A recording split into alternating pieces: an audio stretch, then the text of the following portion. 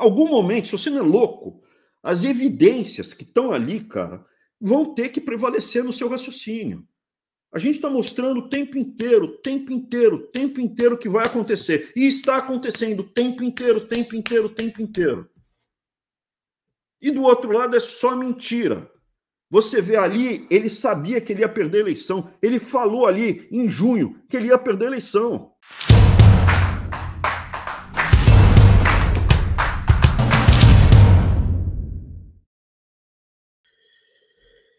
O aperto de mão que eu fiz com o Bolsonaro em 2017 era colocar as nossas vidas, nossas carreiras profissionais de professor, nossas famílias em risco por uma revolução legalista, sem quebra de contrato, sem descumprir a lei, dentro da sem violência, mas uma revolução. Vamos, a partir de hoje, transformar esse chiqueiro num lugar limpo. Isso é uma revolução.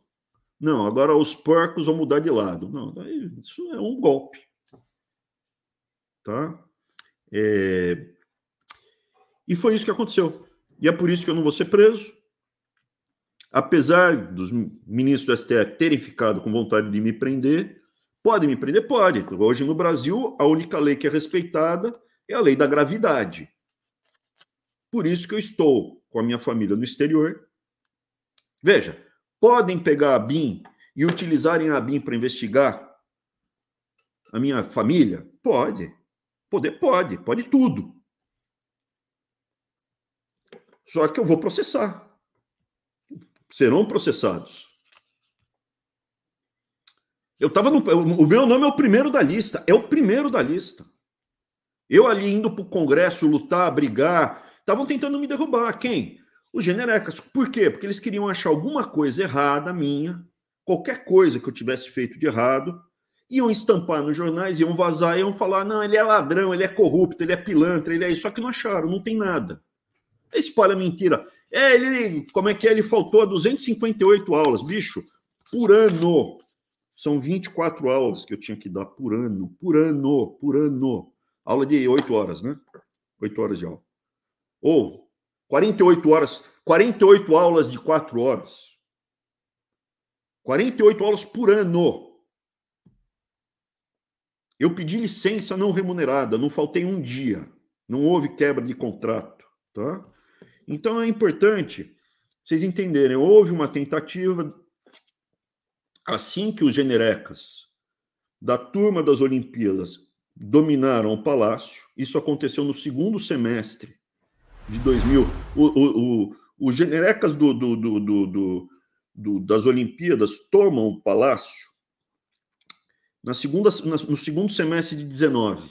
A partir daí começa o tiroteio em cima de mim, incessantemente. Óbvio, Jorge Oliveira já tinha lá. O Jorge Oliveira sumiu, né? Esse fez lá meu, um monte de amigos em Brasília, todo mundo está sorrindo de cabo a rabo com ele. O, o, o, Randolfo Rodrigues, Renan Calheiros, todos eles adoram o Jorge Oliveira. Estava lá, me odiava. Então, me odiava depois, né? Quando a gente chega, antes, durante a campanha, eu gostava, porque, pô, não tinha nada para né, em disputa. Eles, eles não acreditavam que eles iam ganhar. Então, chegava lá, chegava com um plano de governo, chegava para ajudar, chegava, chegava com um monte de assessoria gratuita, não cobrava nada, gastava dinheiro e ficava mostrando, explicando tal. Então, não tinha problema. A hora que teve em cima da mesa a oportunidade de se dar bem, é que eles começaram a ficar loucos. E isso aconteceu já na transição com alguns e em maior escala, eu diria generalizada, a partir do segundo semestre de 2019, quando o Heleno traz os amigos dele das Olimpíadas, a patota dele das Olimpíadas para dentro do governo. Tá? Esse é o, o desenho geral. Vamos mostrar as coisas aí? Vamos lá. Tem a reunião aqui do que o Heleno estava falando, né? O Bolsonaro meio que deu uma. Agora faz todo sentido? Faz todo sentido faz, que eu estou desenhando? Faz, pô. Aí o que, que você tem aí? Aí você tem pessoas do Centrão e um monte de generais das Olimpíadas, um monte de militares das Olimpíadas e turma do Centrão, cara. Foi o que sobrou aí, cara. Amigos de monopólios, Centrão, e generecas. Põe aí. Conversei ontem com o Vitor, que é o novo diretor da BIM. Nós vamos montar um esquema para acompanhar o que os dois lados estão fazendo. O problema todo disso é que se vazar qualquer coisa, a gente se conhece nesse meio. Se houver qualquer acusação infiltração lugar. Então, general, eu peço que o senhor não, eu peço que o senhor não fale, por favor. Eu peço não, não, não prossiga mais no teu, na tua observação aqui. Eu peço ao senhor que não prossiga a tua observação. Se a gente começar a falar não vazar, já esquece. Pode vazar. Então a gente conversa particular na nossa sala sobre esse assunto. O que, que porventura a BIM está fazendo? Então, o que tiver que ser feito, tem que ser feito antes das eleições. Se tiver que estar solto na mesa antes das eleições, se tiver que virar. Uma coisa é um desabafo. Se eles. Uma coisa é um desabafo. É, eu quero que Abraão morra. Falasse aí, ele fala aí, eu vou mostrar depois ele, ele me criticando. Eu quero que Abraão morra. Abraão, é um crime? Não. Não.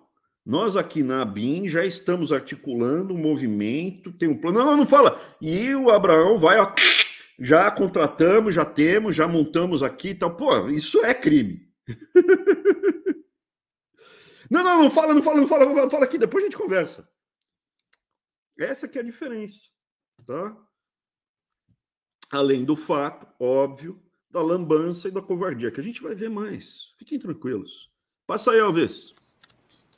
Vamos lá, agora é, o, é os traíras, né? os, os traíras. traíras. Eu queria só fazer um, uma ressalva. O, o Bolsonaro é uma das pessoas que, ao longo da minha vida, que eu mais vi mentir. E ele tem uma habilidade de olhar na tua cara, chora e mente para você. Fala, não é possível, eu vi ele chorar na minha frente. Ele chora e mente.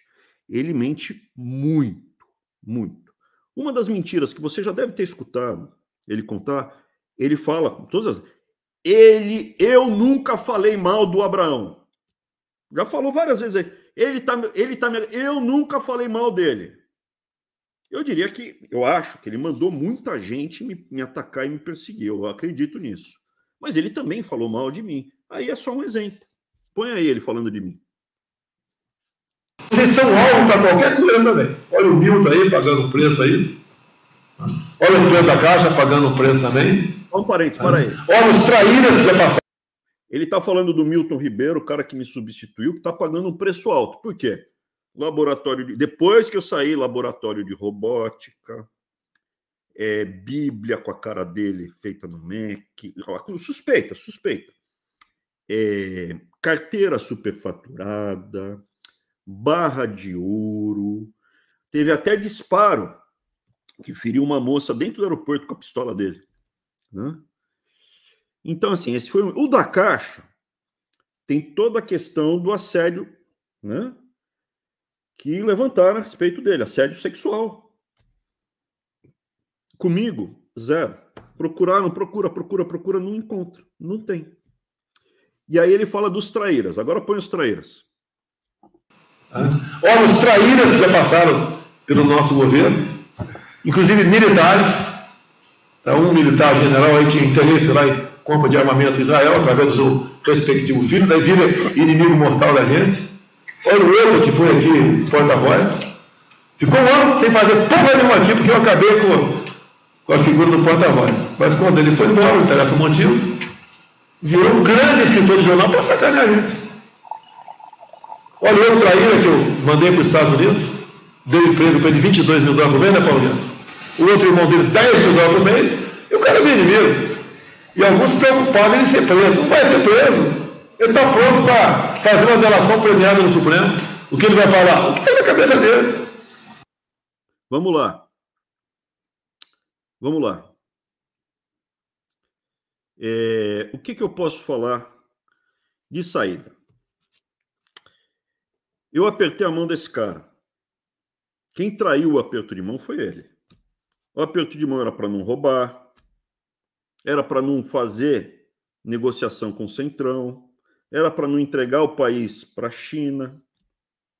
Pode comprar do Brasil, mas não comprar o Brasil. Era para mudar a estrutura, nem que custasse um mandato desse. Esse era o aperto de mão.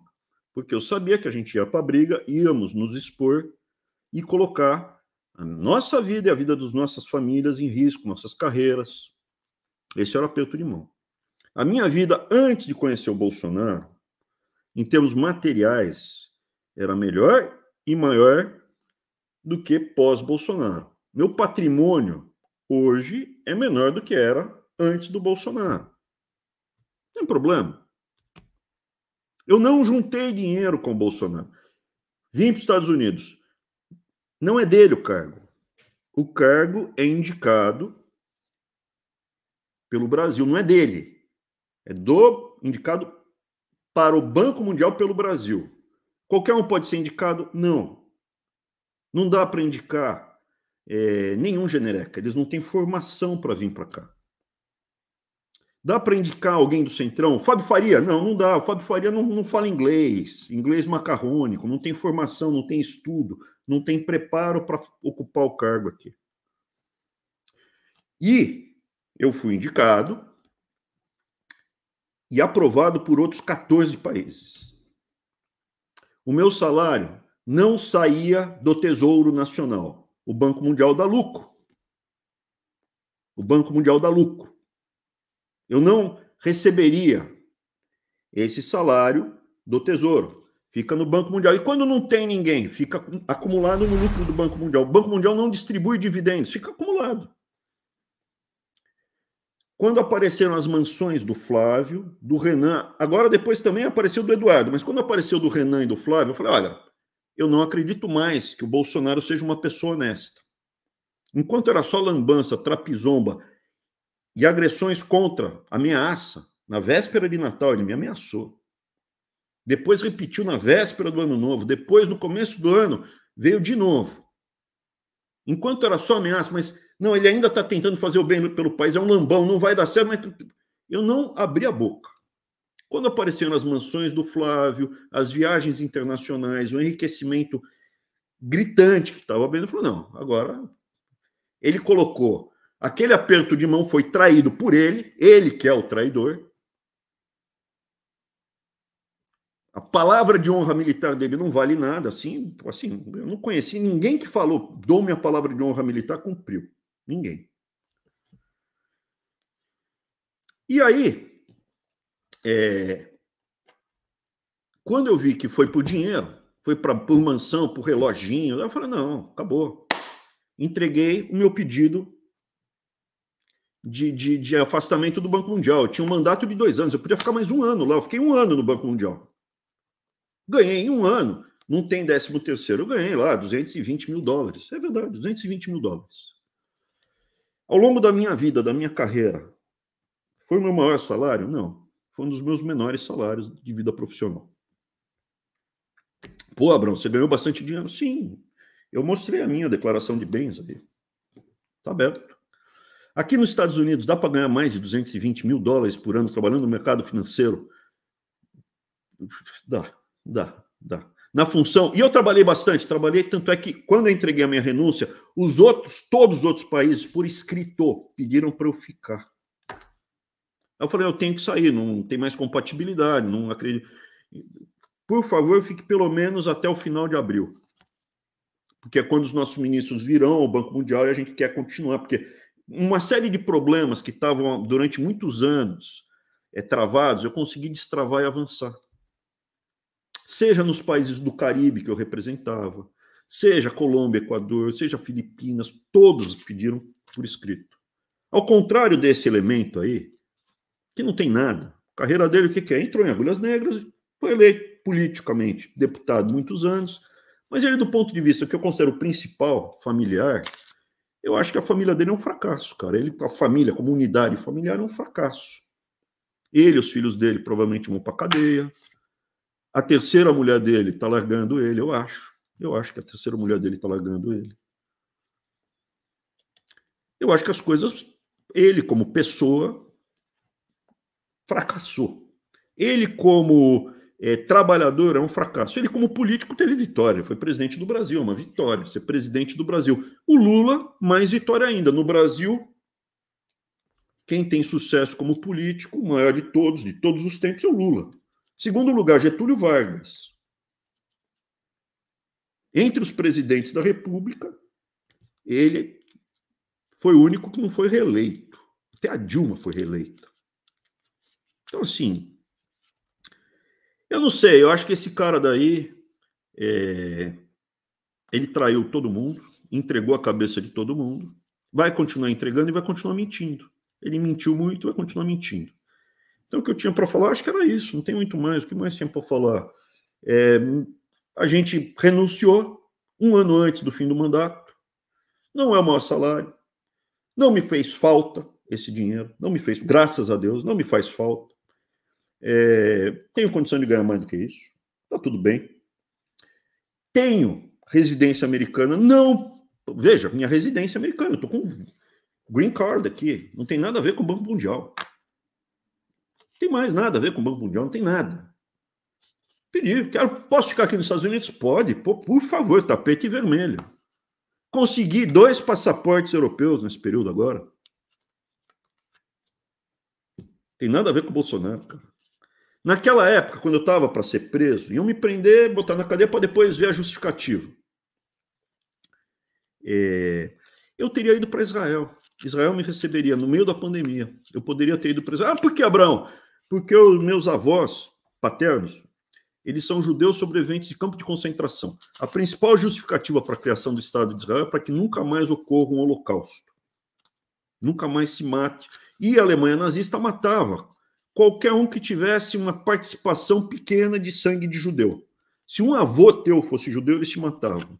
Então Israel aceita o mesmo critério. Se um avô seu, você tem o direito de morar em Israel a qualquer momento. Então eu mesmo não tendo uma mãe